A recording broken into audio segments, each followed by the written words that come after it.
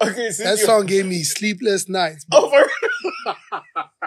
I mean, since we there on, on on composure, that's That another another guy. That's another guy. You obviously had some differences. I think with. that's the only real beef I've ever had. Everybody For else real. is just like stupid, like miscommunications and wah wah, you know, things that could be fixed. Mhm. But the, the the Kiernan thing was yo, it was bad. Like So you saying composure gave you sleepless nights, bro? I, I